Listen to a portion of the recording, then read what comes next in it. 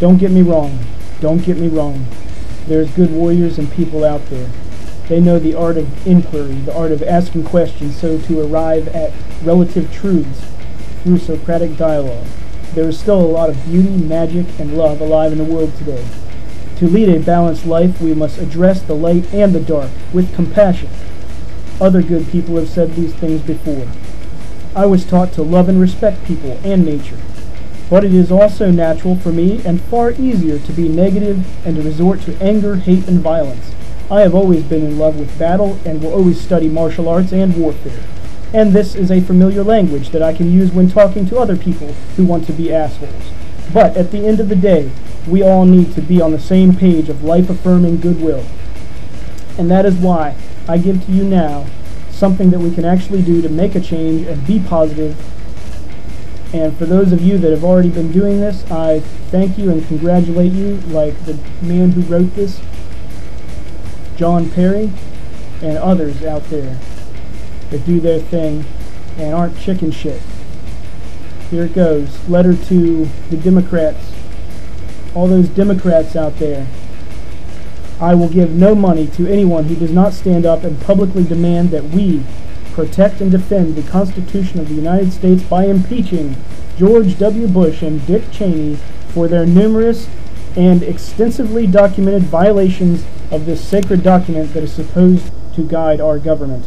It is quite simply treasonous for anyone who holds elective office or seeks to do so in this country to publicly recognize the impeachable offenses of the Bush administration, but then refuse to insist on commencement of these impeachment hearing.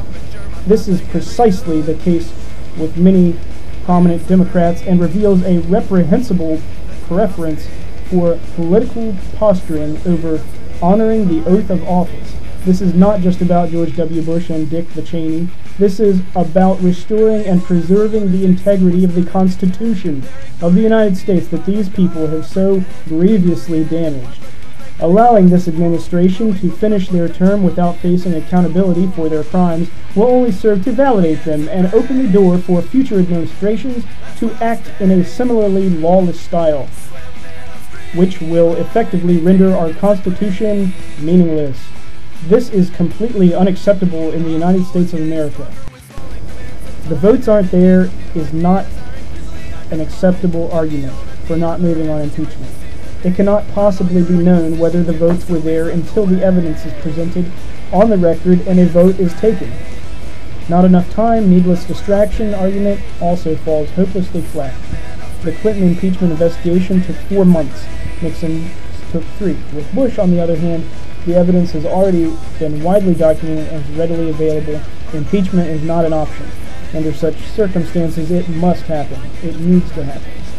If you truly want to restore the Democratic Party and greatly increase your chances of becoming president, you will take the lead on impeachment. History has shown that the party bringing impeachment charges has been extremely successful. Demand the impeachment of Bush and Cheney now, in public and in private life.